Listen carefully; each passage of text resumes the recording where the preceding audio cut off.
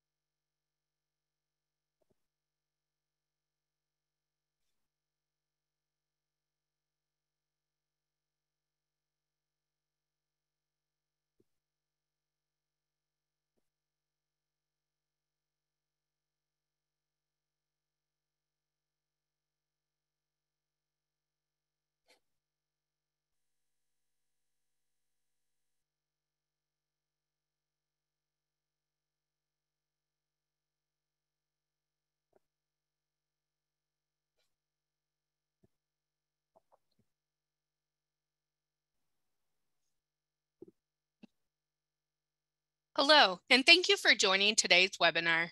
We are ready to begin. Today's webinar is part of a NGN is Here, What Faculty Need to Know webinar series brought to you by Odin and Sigma. I'm going to turn it over to Rick Garcia to say a few welcoming words. Good day, everyone. I'm Rick Garcia, Chief Executive Officer with the Organization for Associate Degree Nursing. It is truly a pleasure and an honor to welcome you all to our presentation today by Tina Rayfield. Thank you for joining us. This is the second installment in a five-part webinar series on the next generation NCLEX. Odin is very excited to be partnering with Sigma Theta Tau International to bring you this new educational series that will guide faculty through strategies to foster students' clinical judgment. Each Tuesday, now through April 25th, subject matter experts from across the country will be presenting different considerations and approaches for preparing your students to be successful on the next generation NCLEX or NGN. Thank you for joining us today, and we hope to see you on an upcoming webinar. I will pass it back over to Linda. Thank you so much, Rick, for that uh, warm welcome. We want to let you know that today's webinar is eligible for one contact hour.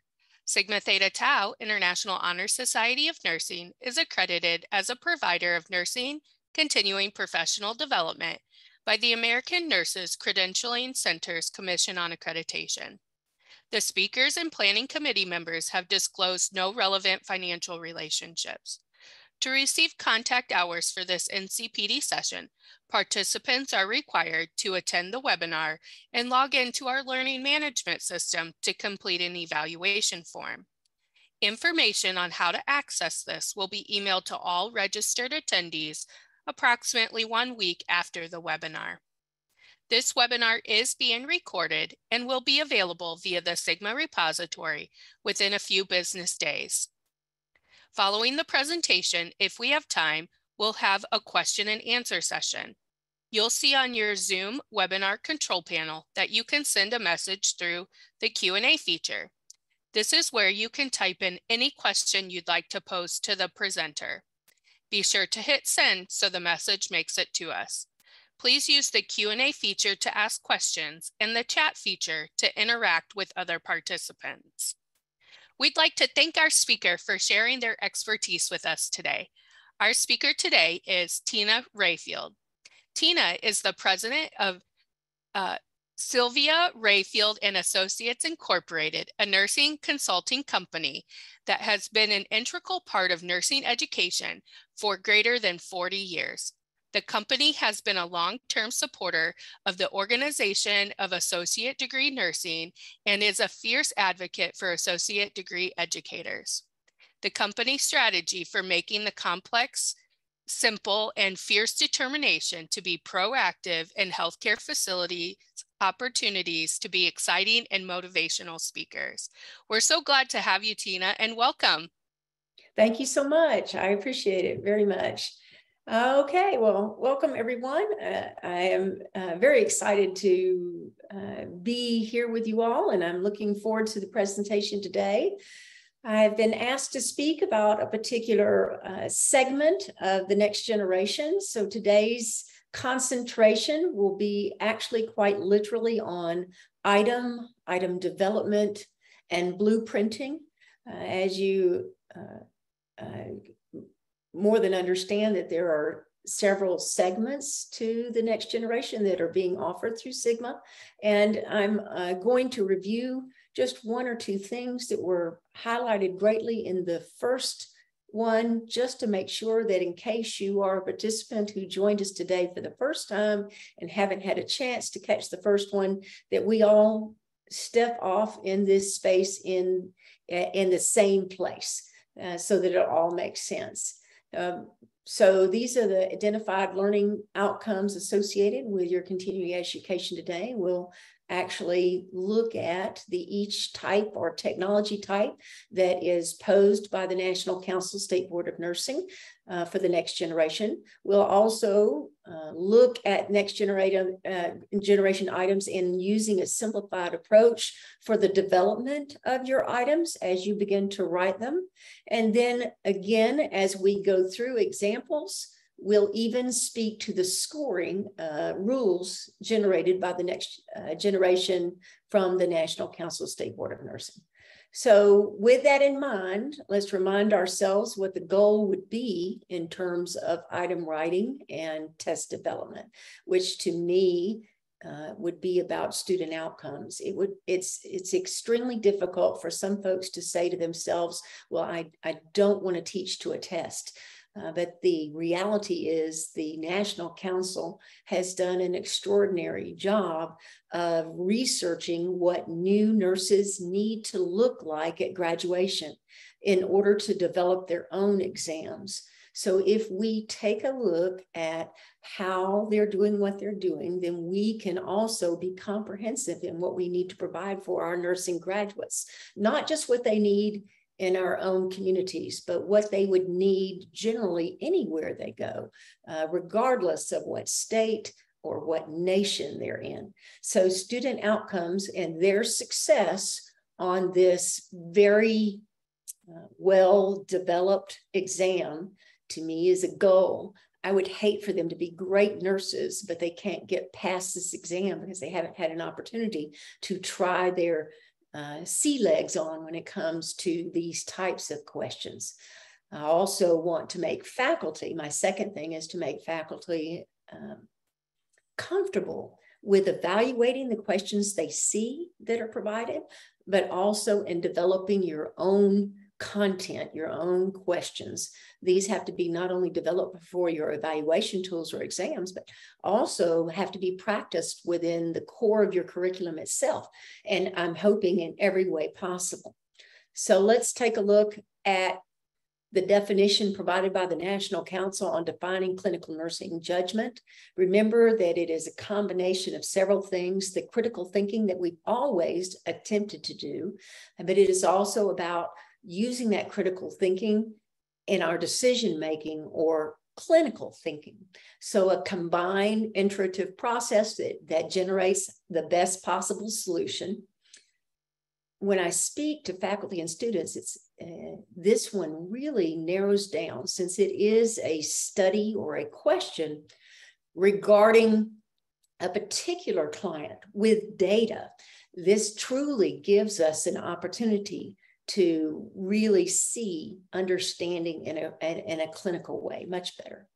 Okay, so with this definition, I'd like to take a look at what you are accustomed to. All those who've been working in nursing education have this down. You have it down in your fundamentals. You are working hard to have each student know what it is. And, uh, and frequently, many of you who are in fundamentals and beyond are actually writing questions in each one of these segments to make sure students are, are um, able to accomplish that. I, I challenge you that the next generation is so similar that you don't need to relearn anything else. You can connect to it very easily. And actually, to me, it refines this just a little bit and brings about a little bit better understanding. So let's take a look at the clinical judgment measurement model. If you are looking at information from the National Council, you can find this in several places presented, both online video and in their written work associated with the next generation. So let's start with the first one. Uh, the terminology used is cue recognition. Uh, many of you would call these assessments, so they fall under that assessment model. And I've used color to help show where these fall itself. Then in analysis, we have two things that fall from the clinical judgment measurement model, and that would be analyzing cues and then actually deciding if there is more than one thing that is wrong, then how do I prioritize what it is? Um, then the next one plan, the wording that's used in the next judgment model is actually generating solutions. To me, a definition of the plan. Uh, implementing would be take action. And then, of course, the final looks like evaluating outcomes, looks exactly like what the other was. So here you have it. This is not unlike what you're used to. You don't have to relearn. You, uh, the only thing to recognize in your testing when you're evaluating is now that we're asking students to a, a slightly higher bar, not to just pick everything, because everything is important to a new nurse graduate, right? I have to get it all. We're asking them to look at the patient and make decisions about which one of their pathologies may need a higher uh, need higher assistance first. So let's take a, a quick second to think about that. Um, in your own clinical practice, when a, a diabetic comes in the door, say to emergency room, they don't all look the same. So we can't teach to a generalist diabetic. We can certainly teach in the beginning to that. But as they go on in their practice, we have to discuss the fact that when they come into the emergency room, what is the priority for the problem they're having today? Is it because their blood sugar is 500? Or is it because they have a, a large infected wound on their toe? Or is it because of a GI problem. So essentially, we're going to take the time to develop these students in a way that they can have all three of these problems vomiting, blood sugar of 500, and a, a, toe on their sore and make decisions about which one. We're going to, of course, take care of all of them, but which one is created that needs to be analyzed first or cared for first. So um, it's actually a lovely, lovely model. It really is. So let's take a look. First things first, case scenarios is going to be important for the next generation for you to decide. Uh, and you can do it anyway. There are a lot of books out there, a lot of, of online tools that will give you case studies. You can develop your own case study. Um, remember that when the National Council started this journey, they brought in uh, uh, both clinic, clinicians and educators and had them just develop case studies first. And then they develop the questions later. So as you go through uh, your education practice here, it would be an important thing to save your scenarios. You can create new questions in a later time by looking at the scenarios you have and cut the amount of time that you have when it comes to um, uh, developing new items.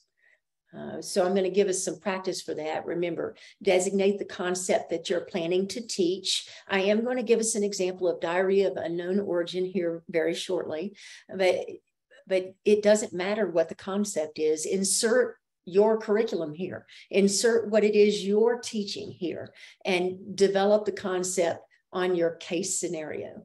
Add context and data. Those are going to be the cues that we hope that the students will learn to uh, decide which ones need attention and which ones can wait.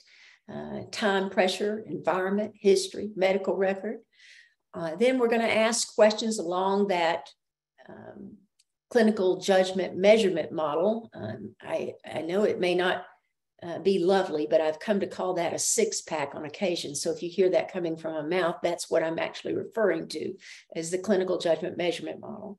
Uh, all all six of them that we did right back there and then unfold treatment plan with new data to allow the opportunity to evaluate so you can unfold as you move along many times what's on the left side of the screen will have all of the information and how the word the how the question is being asked would cue the participant who's taking the exam, the student in your case, to go over and look at what you're asking them to look at.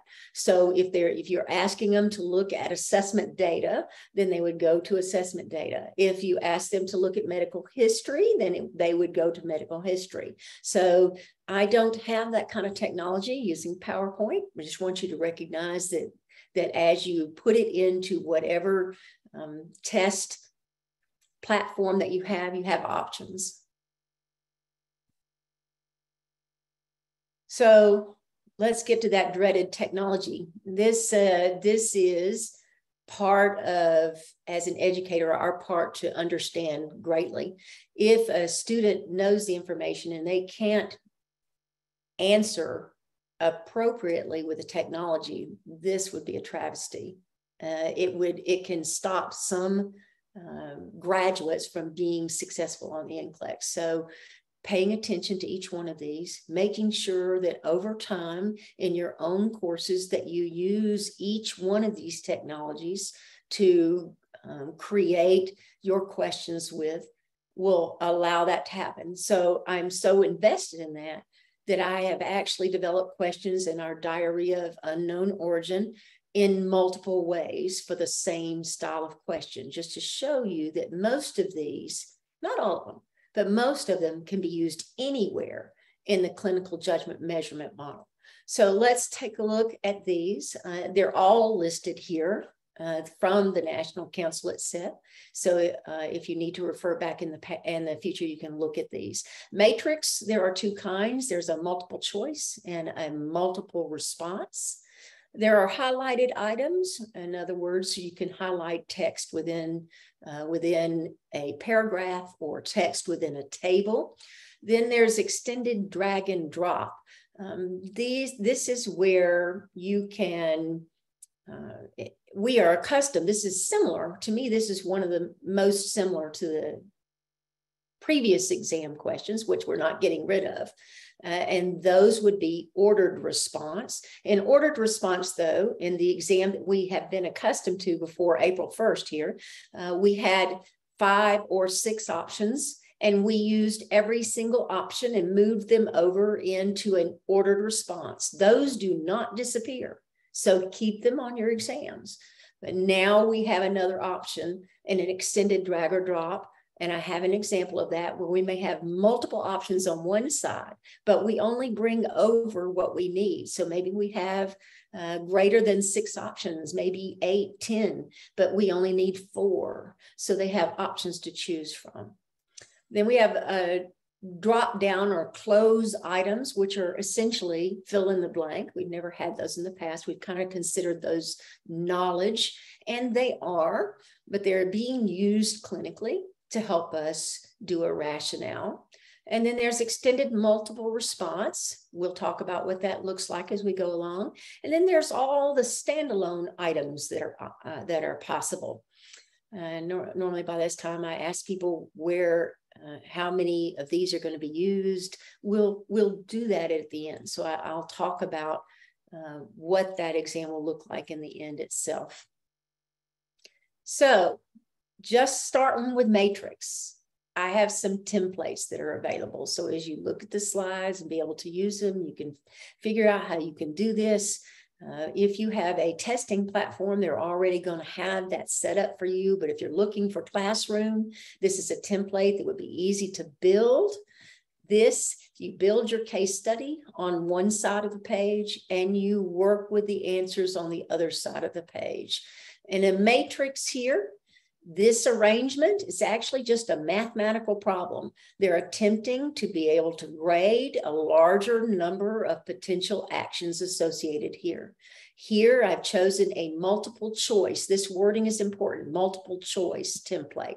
Uh, so as here after receiving orders. So this would be sometime later on in the scenario for each action item. Click, click to specify whether the, the action would be indicated, not essential, contraindicated. So essentially, here it's a box where you're going to put something a cue, an action, a solution, evaluation, and then you're going to ask them a question.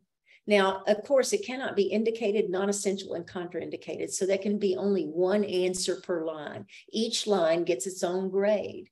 Now, here's the thing to notice, the subtlety to this. There are circles in these boxes. If there are circles, there's only one possible answer. If there are squares, then there could be more than one possible answer in a line. And we would use partial credit scoring then. So we'll go on and look at that a little bit. Um, this one, since I used the wording after receiving orders for each action below, click to specify, this is generating a solution. It helps you to decide where in the clinical judgment measurement model or six pack that you need to go. Here's another example using intervention so this would be evaluating incomes for each action below. Click to specify why the action will be effective, ineffective, or unrelated. So this one would be evaluating outcomes. Now take a look over here. You can also have just effective and unrelated. You don't have to have three sets of boxes, but you do need a comparison along here. Here is an example of cue recognition and assessing the client, which findings are essential to follow up. Then we have assessment findings listed and whether or not it would be essential or unimportant. So we had our built case study, and this would be how you would organize for cue recognition. So here, the takeaway from the last three slides is that I can use the matrix across the area of the clinical judgment model all the way across. And it's based upon how I'm asking the question in order to be able to use this. All right. Here's an example. Let's take a look at these words right up here multiple response. Now I am dealing not with multiple choice, but multiple response. So that means there are squares in the boxes and that I'm going to be able to pick more than one potential action. The nurse is reviewing the client's assessment data. For each assessment finding below, click to specify if the finding is consistent with the disease process of, and then three diseases would be listed there. So first I put the finding, maybe fever. I'm just going to choose something. Fever. Is it, do we have fever with disease one? Do we have fever with disease two? Would you have fever with disease three? So it, there could be potentially more than one answer. So Please include on your slides, note there's at least one answer in each row, but there may be more than one answer per row. It, that'll help cut down on the confusion associated when the student takes the exam.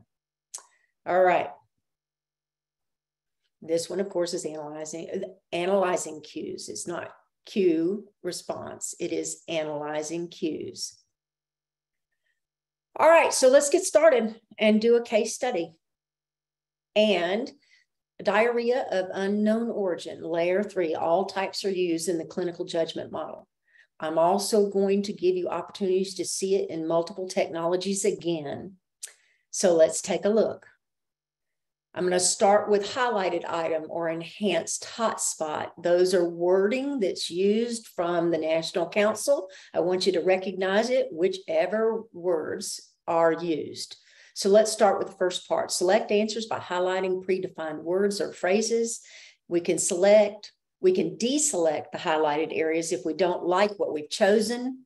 And then these types of items will allow an individual to read a portion of the client's medical record, whether wherever it is, wherever we've asked them to look. And then we can, then it would select the words or phrases and answer the item. So let's move into it.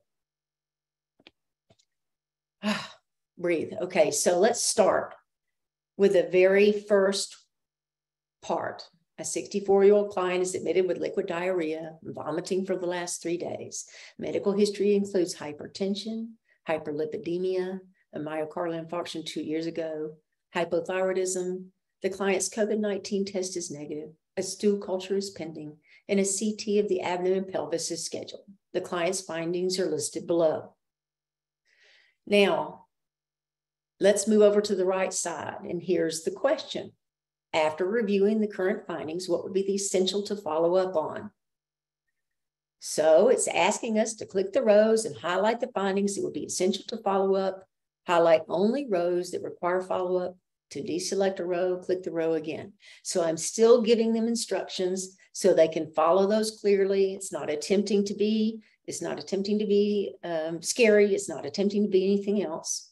So in cue recognition here, I've asked them to look at the data. So they're going to choose from here what would be essential to follow up on. So um, the other thing to notice after the current findings, you may have your current findings listed first. You may have your, your previous findings listed second. It could be the other way around. You know, as we read a book, we've gotten used to current findings being in one place. Um, remember, they're, they're reading on a computer screen. The current findings will be a tab. I move the current findings first because when they open a screen at the hospital, they see current first and they see past labs or past data in another area. So you do it, you do you, figure it out, just help the student to recognize to look at what this is current and not make decisions based upon four hours ago. It's asking after the current findings. So these would be highlightable data that would need to be follow up on. I also refuse, I, I also um, reduced the confusion by allowing it to light up the whole column so that they aren't choosing from the old. Okay, so here we go.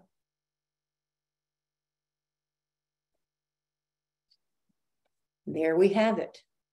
So they highlight those items and this grading is going to be discussed at the end, but they'll get their points and it will provide the uh, the ability to be able to highlight and the ability to be able to deselect as well. Now, let's look at another cue recognition written by another uh, technology, and let's do extended multiple response for the same question. It allows a candidate to select one or more answer options at a time. This type is comparable to the current NCLEX multiple response items, but with more than one option, which gives us partial credit scoring potential. Now, the one I chose to offer you today, though, is not partial credit. I wanted to be able to have them pick the six findings that require immediate follow up Okay, so pick the six findings. So this one instead, it's a multiple response, all right, but it's what the National Council defines in the technology as select N. If you tell me, if they, if we say to them there are a certain number of findings, then this makes it where they must pick the six. They can't pick anything outside of the six. If they do, they miss the whole question. So this grading is is helping us to understand that we can still grade some of our other ones using select N. It's either all or nothing. So they would choose them and get them right or not. Okay, so we've done cue recognition. Let's move next to analyzing cues. It's the same scenario. I've not changed a thing. Which condition is the client at risk for developing? We're just having them think or that they are they have developed. So let's take a look. Uh, in this particular case, I have an extended multiple response. If you look at it, there are more than six. On the previous exam, we wrote these questions. We were limited to five or six options. To have an extended multiple response means that you have more than six I've chosen seven here. Please be careful to not extend beyond what your platform says. And I believe the maximum is 10. I think we would have to uh, look at that a little further and maybe that'll change as time goes on. But be careful to stay within those parameters. Now, in this particular case, it would be partial credit. So they could answer this question. And if they picked the the three that you have for your grading, um, then they would get solidly partial credit for each one. If they pick a fourth one, so therefore they they could subtract that one those sorts of things so in the grading for that um, you can you can decide how it is you need for the technology and what you need for the grading so now i want to use the matrix multiple response and i'm going to um, do another one of analyzing cues i did an extended one let's look at this the nurse is reviewing the client's assessment data for each assessment finding below. Click to specify if it's consistent with the disease process of fluid volume deficit, sepsis, or infection colitis. So you could write this question this way. Uh, we're studying the same thing in the clinical judgment measurement model or six pack here. So they would have, it does, is fluid uh, volume deficit uh, diarrhea part of that? Is sepsis diarrhea, infectious colitis? Is decreased weight part of fluid volume deficit, part of sepsis, part of infectious colitis? Reduced Glasgow Coma scale, fluid volume deficit. So each one of these, they're going to evaluate and come up with an answer that they can go for. All right, now we're moving on to prioritizing. I'm going to use a cloze item I'm actually going to use a cloze item to uh, a rationale, and I'll talk about grading for that as well. All of the grading is written at the very end, but I am I'm putting it here just to help us to clarify. Allow candidates to select one option from a drop-down list. Um, I usually tell the students, and I tell faculty as well, there's still no spelling on the NCLEX. There's no spelling on the NCLEX. So if there is a blank, then what we have in the blank is um, allowing us to take a, a list of which we have to come up with, of course, in our template, a list of potential options that they'll choose from. And the word will move as they select it, the, the, uh, the word will move into the sentence. All right, there'd be more than one drop-down list in the cloze item. These drop-down lists can be used as words or phrases within a sentence, within tables and charts. So let's take a look. The, day, the, the uh, same, we're still de dealing with the 64-year-old client with diarrhea. So the prioritized hypothesis question would be complete the following sentences by choosing from a list of options. The client is at greatest risk for developing X as, as an evidenced by Y. So this is a rationale. You have to have both right. This one's paired. They get all of the grade because it's paired. If it didn't have because of or evidenced by, etc., then I could give them partial credit, a point for each blank that we have. But this one is actually paired. They have to get both right to get it right. So in this particular case, we give them a set. They choose from that set and come up with the options. All right. Matrix, again, is just a mathematical problem. They wanted to be able to ask more uh, potential options, but they couldn't keep it stable. So the best way to get more information about what someone knows and keep it stable is to segment it. And that's what matrix is. So here we are generating solutions, and I'm using matrix multiple choice. Our client is still the same, our scenario is still the same. I've had nothing unfold. I am telling the student where to go. After reviewing the nurse's notes for each action below, click to specify whether the action would be indicated, non essential, or contraindicated. Again, I have action potentials over here for each of one. They have to make a decision. They get one point per each row associated with this. Uh, if they do not get the row, they get a zero on that row. So there's a potential here one, two, three, four, five, six. Uh, I'm just going to call six points for simplicity.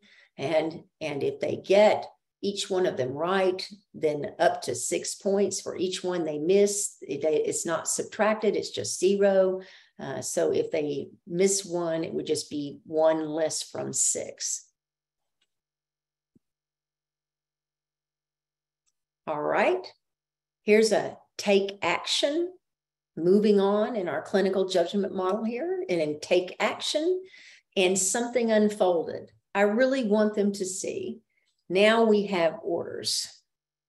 Take review after reviewing orders, which orders would require clarification prior to the administration. Complete the following sentences by choosing from the drop down list. Again, I'm using a closed item, but this time I'm using a triad. The nurse should not administer blank and blank due to blank.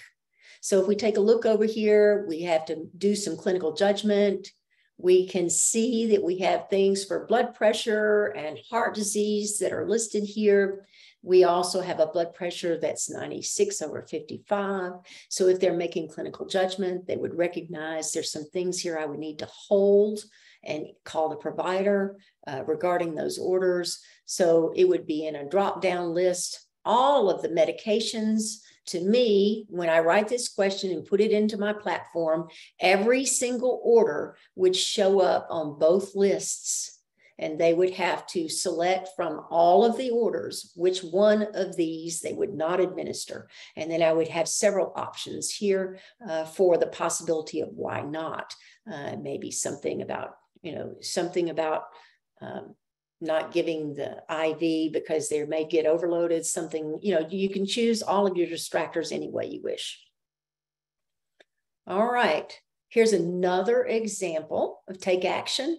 After receiving orders for which of these below, click to specify whether the action will be indicated or contraindicated. It's just another way to ask the same question using a different technology.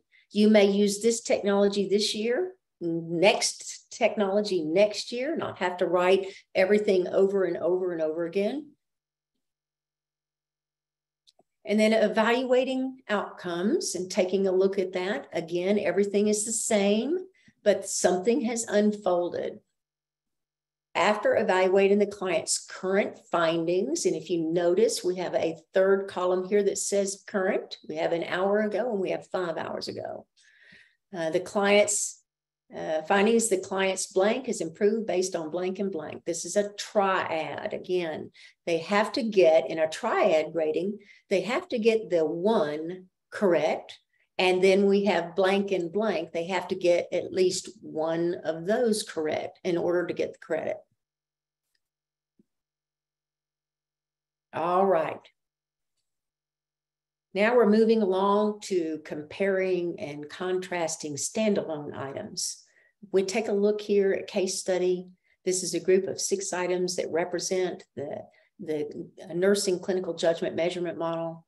It requires the entry level nurse to make multiple clinical decisions throughout the spectrum of clinical judgment model. It uses an action model approach by combining individual components in a structured format. These standalone items have a stated or an implied diagnosis.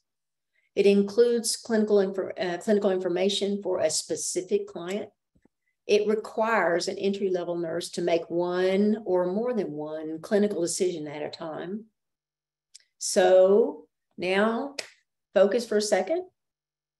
Every single one of the technologies that we have talked about can be a standalone item. It isn't restricted to any one of them. And in fact, they have actually added um, one more, something called bow tie. We'll go through that in a second. So I don't want to repeat all the technologies we've actually already covered. So I'm going to try uh, to, to jump into this um, I'm going to say, Jennifer, I saw that and I agree. It is a bit overwhelming and it's way overwhelming to try and cover it all in less than an hour. Uh, but I'm glad that it's actually recorded and you can take it a piece at a time. So let's keep moving forward and let's take a look at some options here for standalone items. I'm going to start with that extended drag and drop because I did not use any of those in the original one. Let's take a look. Uh, extended drag and drop allows the candidate to move or place response options into answer spacing. This is exactly the same type of items that NCLEX already had for ordered response, as we discussed, but this time you may not use all the response options. In some items, there may be more than one response option for the spaces. So let's take a look. Here's an example. The nurse is providing care for four clients on the med surg floor. Drag and drop the best initial action to take with each client listed below. Here we go. We have potential actions to take here on the left. We have the condition and best initial reaction to take on the, on the right. So uh, the client with the blood glucose of 700 on morning labs, the client with asthma with expiratory wheezes, shortness of breath, Glasgow coma scale from 13 to 8. So I have to come over here on each one of these clients and draw something over. If I've used it already, I cannot use it again. It will disappear on the left as I move it to the right. You also have not answered the question until you hit next. So they can move these around, choose something and decide, wait, I like the other answer better, and move things around again. So overall, there's time to think about it and move all those in. So out of this list of, I believe I have seven, I only need four. So that's an extended an example of an extended drag and drop. Okay. Standalone item for bow tie. That's the next biggest one we need to discuss, even if we don't get to the rest. Taking a look at bow tie items, they look like a bow tie. We have a, again, our uh, client will be on the left-hand side. Our question and its potential answers will be on the right. The nurse is caring for a 58 year old client who's undergone a renal biopsy, vital signs pre procedure. You can see are listed there. The client is 30 minutes post procedure with current vital signs of. So I have to tell, I have to tell the participant about the patient and it's time sensitive so they recognize it's not what I would do for all renal biopsy patients. It's this patient at this time with these vital signs. So they have to compare what's here temperature of 99.1, heart rate of 112, blood pressure of 100 over 62, respiratory rate of 22 from their vital signs a half hour ago. So that's the whole idea. Now, taking a look here, I have to complete the diagram by dragging the choices below to specify what condition is most likely experiencing, two actions the nurse should take to address that condition, and two parameters the nurse will monitor to assess the client's progress. To me, as you teach this to your students, it's much easier to go with the condition that they are most likely experiencing, the condition most likely experiencing. Uh, so that would move up first. This would tell me, give me ideas to easier answer, to be able to move it up into the action to take, and then make decisions about how, if they are going to get better or not, what parameters I'm actually going to monitor. So here's an example of a finished bow tie. We were attempting to get the student to understand shock and show us that they knew what to know about shock, uh, how they would care for the client based on the options that they have here, Okay, and then of course our parameters model uh, to monitor up here on the right. All right, one other that we haven't had in terms of technology here, I'd like to take a second to do, and that would be multiple response and grouping. Multiple response and grouping, that is where we have a multiple response that looks like this, this table a 64 year old client. This is all the same that we had it before. I use the same. Uh, so we didn't have to read all of that again. We've got that diarrhea going on. Which assessments are critical for the nurse to follow with the client listed? Uh, so they would have multiple response in each one of these groupings. These groupings are there to help the grading. So since it's gastrointestinal, I'm going to want to follow bowel sounds, uh, diarrhea, um, nausea and vomiting. I'm not sure I need to monitor their abdominal girth. So three out of the four of these are right. They get partial credit. This line gets whatever credit. If they pick three of these and they got all three right, they would get a three here. Cardiovascular, taking a look whether or not do I really need hemodynamics for this? Do I really need uh, to monitor O2 saturation? Do I, I, I need to follow their EKG? Uh, so this gives the clinical judgment section in here, all of these. All right. Uh, extended response, I think we used one of these, but again, I wanted to remind you more than six, less than 10. Um, I'd stick with nine or less. uh, and go from there. Which of these clinical findings for a client receiving promethazine hydrochloride 12.5 milligrams IV require immediate intervention? Select all that apply.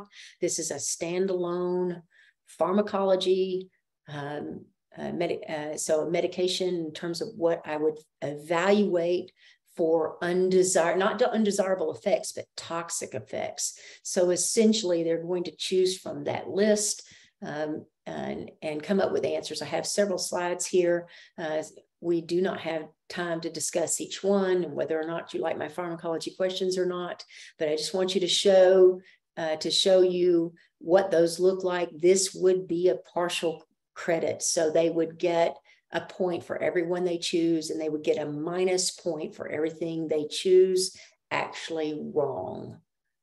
All right. Let's take the last minute or two that I have with you and talk before we start asking for questions and look at NGN scoring. I got this from the National Council State Board of Nursing. You can pull it off as easily as I can when looking at the next generation. Uh, many of the platforms that you're using now do not have all their technology straight. I, I want you, um, I, I do want you to be able to get all of the scoring rules as best you can and to help the student realize that this partial crediting scoring is actually going in their favor. Also, so zero, the traditional or classic approach that we have here, uh, you're going to use for multiple choice for matrix multiple choice on each line. For multiple response, select N, as we have discussed. I've selected how many out of this list. Um, cloze, drop down, drag and drop, drop down table, bow tie items. Each one of these are the classic approach. Each one are classic approach. Plus minus scoring rule. This is we use when it's unspecified number of responses. So select all that apply. They either, if they pick the right answer, they get a plus. If they chose a wrong answer, they get a minus. Okay, same thing for highlighting and text. So that data that we went over earlier when we highlighted it, if they picked it correctly and highlighted it, they got a point. If they picked one that you don't believe needs to be followed with that client, then it's a minus. So all of that is there. All right, you cannot go below zero. And they did tell us here that the highlighting text, the maximum number is 10. They're very specific, no more than 10 things. I can't keep it stable, can't hold validity. Okay, then rationale scoring requires full paired information. That was when we were going over those cloze items where both X and Y must be correct to earn a point. And the max point in a, uh, uh, is uh, one point for, say, a dyad and two points for a triad because I have paired information. They might get one of the second right or maybe not. All right. We're just about there. One last thing to say. This to me is the burden for us to get to with their exams, even in our curriculum. The test composition for the National Council has moved up to 85 potential options. It's been that for PN for a long time. I study both sides of National Council's information, RN and PN. So 15 of those are still unscored. So this means they had to move up 10 items from the original one. Remember, this started three days ago. It's already in place. There's no discussion anymore. Discussion's all done there are at least promised three clinical judgment measurement models. So there's no less than three for these 85 questions. And you can do the math and see how many questions of that are falling in there. Then they are also telling us in the 15, you may have as many as two. So a candidate may see as many as five of the clinical judgment measurement model. They may also see standalones in those 15 instead of two clinical judgment models. They may have all 15 in standalones, one clinical judgment model, and the rest standalones. Uh, they may also uh, receive standalones after the 85. So there's a certain 10%, the National Council said at one point, I'm going to hold on to what they say at one point, that 10% of the items over 85 will be standalone items and or potentially bow ties. So that does it. I think that we have reached the end. So we um, we can start looking at questions. Hi, Tina. Thank you so much for all of that wonderful information. We do have some questions that I want to propose to you. Sure. Um, this individual said that they will be teaching pharmacology this summer. Can you give some tips on how to create questions that are specific to pharmacology with the next generation styles? Yes, you know, you just saw one. Um, so uh, that is useful. You can actually even develop a bow tie where a client has a condition and that there is an order for a medication and that they have to have food with it or no food with it. Uh, and then how I would evaluate the response of the medication on the other side, or, or, whether or not I'm evaluating the medication's effect, good or bad, or undesirable effects. So these are the, you can develop pharmacology questions with throughout all of the standalones um, and bow tie. So there's a place that you can contribute in their practice and getting ready for the exam itself. So it could truly be about a patient and how they're going to be cared for with their medication and not so much about the disease. If you give a scenario, you can also give the orders for the medications and work it based upon that. I hope that was helpful. Perfect. Thank you so much. I'm not sure if you'll know the answer to this one, but will the NGN be available now at all global sites in which folks in other countries sit for the exam? Well, I don't work for the National Council, but that is my understanding that it will be global, that Pearson VUE is the provider, and the next generation is throughout everywhere that uh, the National Council is testing. So it'd be every Pearson VUE facility. They use what is given to them from the National Council to provide that. So the answer would be yes. Perfect. And I think one uh, resource that we put in the chat is the um, NCSBN website. I put that in the chat for people to access. So if you do have questions, they have some detailed information there, along with sample questions and the exam preview for uh, people to look at. There's a lot of chatter in the chat about uh, lab values.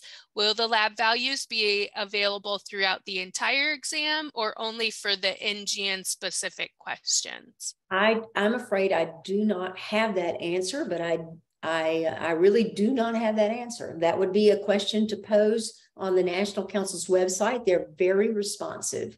So you can you can pose that question up in the corner. I am absolutely sure they're in there for the next generation. I'm just not sure if they have gone back over their very extensive test bank and given labs all over or not. Yeah, I think that's a great response. Thank you, Tina. And I we appreciate your honesty um, and your transparency if you're not sure um, with the answer. Can you mm-hmm. please discuss the role in teaching the clinical judgment model to students?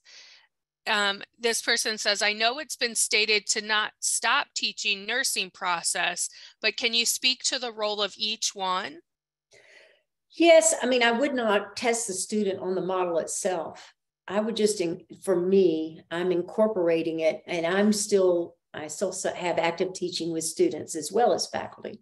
And I, I am just incorporating it in and discussing that it would be important to put this piece into the nursing model. So I'm, I'm, I am calling them close to being one. It's more about how they will be tested or measured and not so much trying to change this wonderful wheel that we've been using called you know called the nursing process.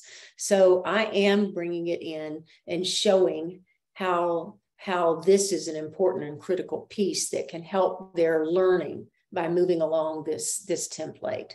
Um, i also bring in clinical judgment models throughout my entire curriculum in every single area of the curriculum. It really doesn't matter what you're teaching as far as I'm concerned. The end of the day, I take some time to run through one of these models over the content that I just taught for the day uh, or for the hour or the two hours so they can see uh, how this might be posed. And so we can have great um, discussions in classrooms over these items. And of course, then of course, um, your uh, being able to take care of it, not, not just here, it needs to be done as well at the bedside when you do clinical and in your simulations. What a wonderful place to put it in simulation. Perfect. I think that's a lovely answer. Um, in regards to the slide that we have up, one person wants you to expound a little bit more on the maximum exam 135 scored items and total 150 with unscored. Can you just explain that a little bit again? I sure can. Um, the National Council says there will be 15 unscored items. Those items are those they're trying to uh, uh, check out, make sure they're valid, and that the, uh, what the and you know not so much what the answers are but making sure that there is uh, uh, that that those 15 items are ready to test plus to know where they are on the difficulty scale. Uh, so all of that's being done with those 15 items. Those 15 items will only be in the first 85 after question number 85 so 86 to 150 are questions that count. So those students will be you know, that go beyond 85. I believe the average is somewhere between 115 and 120 generally. But it, every anytime they're sitting down over 85, all of those count. So all the unscored items are right there up front. Perfect. Yeah, I think that is definitely clarifying. Um, can be confusing all of the numbers and trying to get get it straight. So we appreciate that extra explanation. Just mm-hmm. looking through here, I think we have one more question in regards to um, the select that, all that apply. So will a normal select all that apply have the plus or minus, not just the extended re multiple responses? That answer is yes. They extended the select all that apply scoring rule through the whole task, not just the next generation. So therefore, the select all applies on your regular exams now should convert to being partial credit. All of them. And this question is um, interesting. I hadn't thought of this uh, before. Will students ever be required to type the unit for the medication question, such as ml or tabs, or will this be provided for them? This is provided for them. Awesome. Perfect. Well, uh, Tina, we are coming close to the end of our time together. Do you have any parting words before I close us out today? Um, I don't believe so. I wish you all well and hope that uh, whatever it is that you're teaching in nursing, uh, that you're uh, embracing this new wonderful clinical judgment model. Uh, it'll help you to uh, not reteach nursing, not learn new nursing in a new way, but a new way to provide it to the student to help them on their journey of critical thinking. And I thank you all so much for your time. Thank you. We are so thankful for all of this great information that you shared with us today. Sigma is grateful that you took time to share with our audience, and we definitely look forward to hearing more from you in the future. We hope you enjoyed this webinar. As a reminder, one week from today, you will be emailed a link to the evaluation for you to obtain your Nursing Continuing Professional Development Certificate. Be sure to check out Sigma's upcoming webinars, podcasts, and resources to support you and your colleagues at sigmanursing.org. Once again, we thank you for joining us, and we look forward to seeing more of you at the next webinar in this series brought to you by Odin and Sigma.